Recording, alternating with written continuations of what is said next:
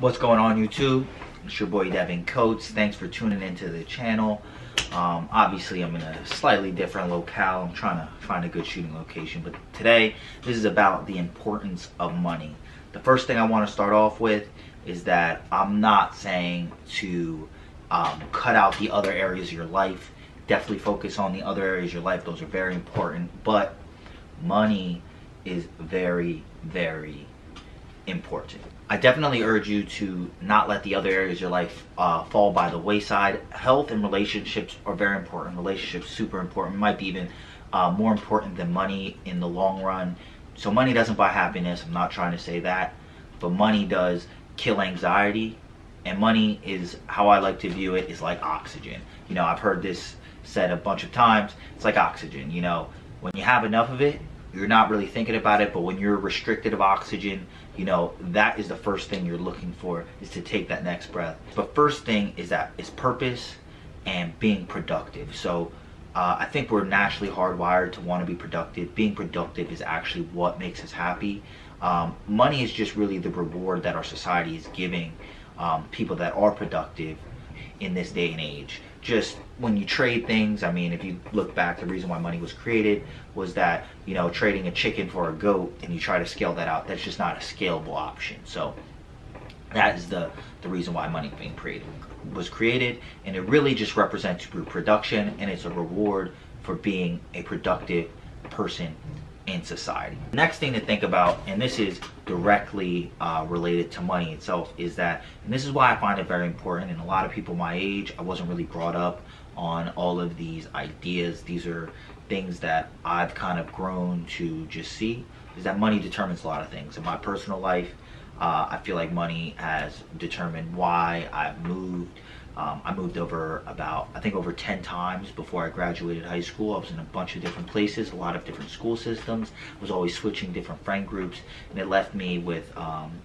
uh, just kind of an unstableness in terms of uh, what what school I was going to go to one year and then what high school I was going to go to the next year and it caused a lot of anxiety, a lot of pain in my childhood years because um, we didn't always have enough money or we didn't have enough money at one year so we're living in not a great place and then we want to buy a new place and we don't have enough to just have absolute choice but the new place is in another township. So uh, that was something that I went through. But you also have to think about the future because this is where um, a lot of people get caught up and I think this is the middle class trap. This is what is sold to us and as you can see behind me playbook to millions. Um, Grant Cardone is somebody I listen to if you, if you pay attention to him he always talks about the fact that uh, the middle class is a trap. And that's just having enough to get by, you know, breaking even. A business that breaks even is going to go under. Um, but in your life, you can break even and feel like you're getting by. But at the end of the day, you don't know what's going to happen.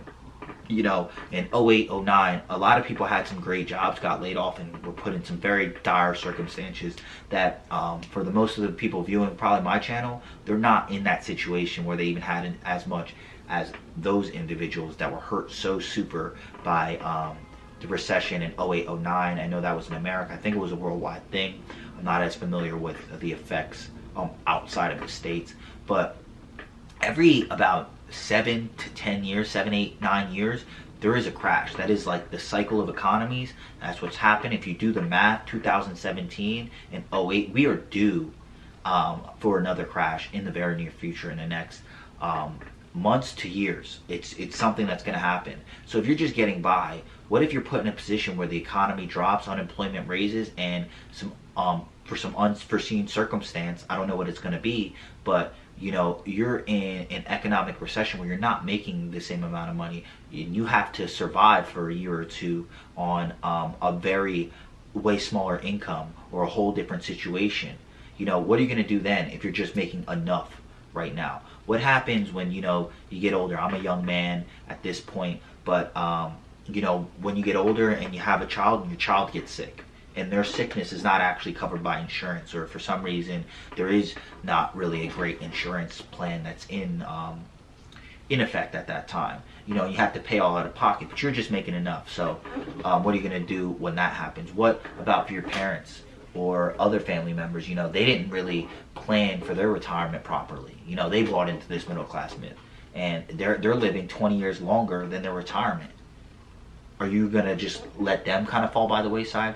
I feel like you have an oblig- obligation to yourself, foremost, to your family, to the people that care about you, to the people that depend on you, to the people that will depend on you in the future, to be as successful as can be.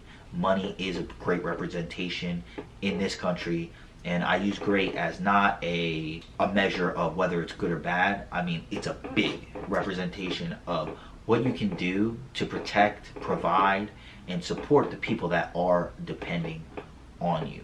So there's tons of unforeseen circumstances that can happen that you're not aware of, so you don't know what enough is.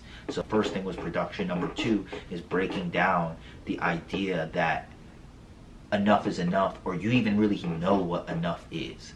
And I, I speak to that to the majority of people. I mean, if you're making a hundred million a year and you're living a pretty uh, modest lifestyle to that number, I mean, you might have enough. You might, if you have 100 million in a bank, you might have enough. You know, what enough is to you might be right. But I don't think the average person, I know I'm not in that situation. I'm living paycheck to paycheck at this moment. Um, but I'm always striving for more because I know that that isn't enough. You know, there's people that I know, I'm even friends with, that in the position that I'm in currently, they wouldn't understand why, like, I feel an insecurity with how much I'm making and the production that I have at this moment because I need to make it bigger. Um, because there is going to be a time where, you know, just just scraping by every week is not good enough. And in any business, if you're scraping by every week and anything happens, your business goes under. So think about the business of you and the fact that you don't want that to go under something that's just particular to my channel and the audience that I feel like I've gained. Uh, there's one video in particular that um, a lot of my subscriber base came from, and that is the RSD bootcamp video. Um, just a quick um, preface on that. I did remove uh, that video, and I'll just briefly kind of give an explanation why. Number one is because I wouldn't recommend the product. Uh, after thinking about it, after thinking about what I wanted to get out of it, I felt like um, at the price point, the value was severely um, under what I paid. I mean, they have other products that I have done, uh, like the hot seat at home that I felt like was marked at a more uh, appropriate price. But the boot camp, I wouldn't recommend that product to anybody besides people that maybe have very serious life circumstances where, you know, they need somebody to like teach them how to kind of like interact with like other people. But if, if that's not the case of where you're at, um, I didn't really feel like it helped in terms of keeping a consistent action. So number one, I wouldn't recommend the product. Number two, since I wouldn't recommend the product, I didn't feel like I really bashed the whole product. If anybody wants my opinions, feel free to reach out. I'm more than happy to uh, explain my experience, but I didn't, I don't build um, things out of hate. I don't piggyback off of other people, especially when it's not in a positive light. I didn't feel like I was bashing. I felt like I was very honest about my review um, at that point, the day after. But um, I wouldn't recommend it. I didn't think it was very worth it. I didn't feel like my instructor uh, provided the value that was promised.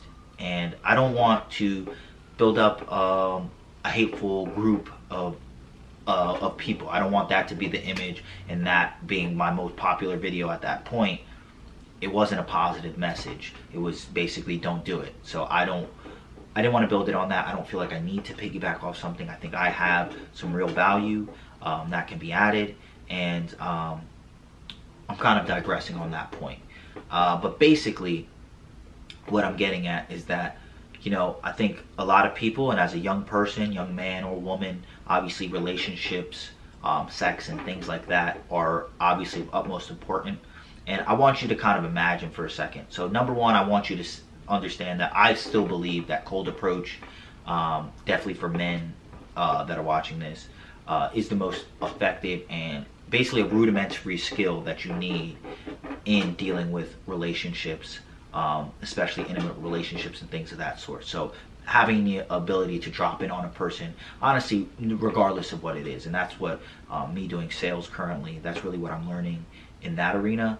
But being able to drop in on a person, um, express what you want, um, and get what you want out of the situation, and not necessarily in just a take takeaway, but um, be able to, to communicate to somebody what you want, see if they want it too, and be able to either network, um, get a friendship, get an intimate relationship, whatever you're looking for out of the situation, great, um, gain a partnership.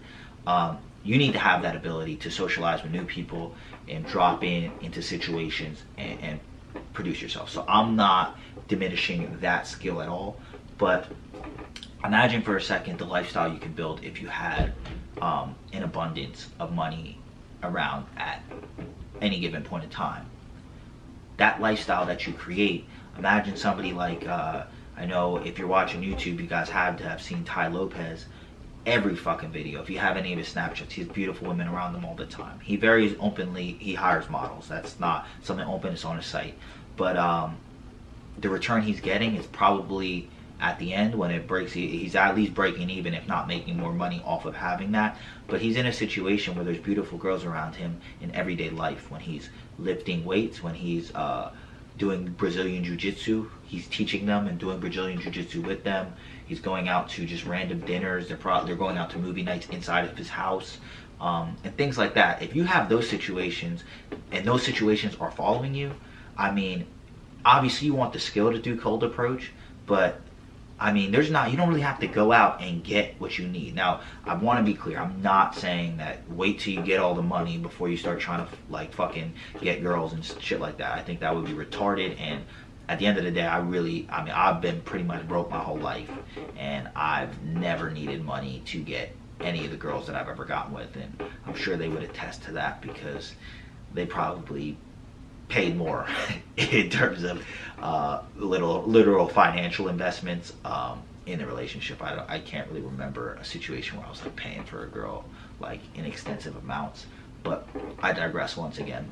Creating that kind of lifestyle and having very beautiful girls around you in everyday situations is something that would make that situation so much easier. So in terms of where everybody came from, I mean, cold approach is something you want to learn and on the weekends and during your everyday life, obviously um, work on that craft, work on that skill and, and, and hone it and sharpen uh, your ability. But if you get money along with that, you're a fucking dope dude goes for what he wants and then you have money around it imagine the fucking lifestyle you have. Imagine the people will be around you and not now i'm talking about girls just because of that RSD video where a lot of people came from but imagine the opportunities the friendships you'll have the people you'll be hanging out with the things you'll be able to do um, uh, and, and money really is the thing that breaks down the barriers that uh, uh, makes it be a limitless opportunity. And Tai Lopez is one person but uh, somebody I like a lot my favorite um, rapper and artist right now is Drake. I mean, look at his fucking life. I mean, he doesn't have. No, I mean, he's different. He's a celebrity and he's fucking known worldwide. But I mean, do you think he ever has to like fucking go to a bar or a club and fucking uh, approach every single girl and just do millions of sets? I mean, he can fucking he can meet a girl doing whatever, call her up, and fly somewhere else, call her up. He has, has a line. He's like, if I like her, I just fly her to the city I'm in. I got her drinking with your boy, I got her fucked up, shorty, oh yeah. Imagine if you had that type of lifestyle. And that's really what I'm looking to build is I want to be able to, one, provide for my family and myself. Um, then two, I want to be able to feel like anything in this world can happen, but I will always be fine. My family will always be fine. We have an unshakable core economically. But then also, I feel like I want to have a lifestyle that's congruent to who I view myself as. Um, and I'm pulling in people that I feel like are at the same caliber and playing at the same level as me.